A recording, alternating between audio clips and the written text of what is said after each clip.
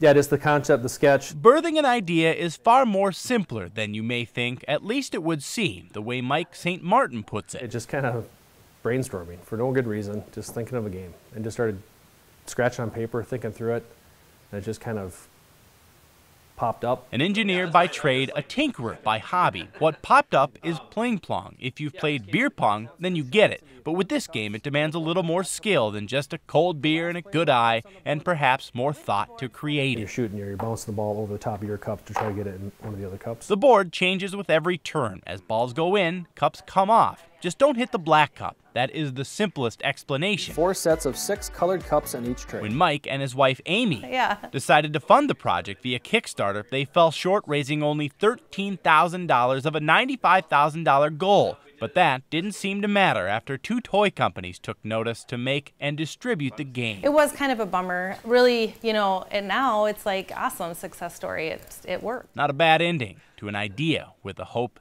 its shelf life is only in its beginning. In Maple Grove, Dylan Wollenhouse, KARE 11 News.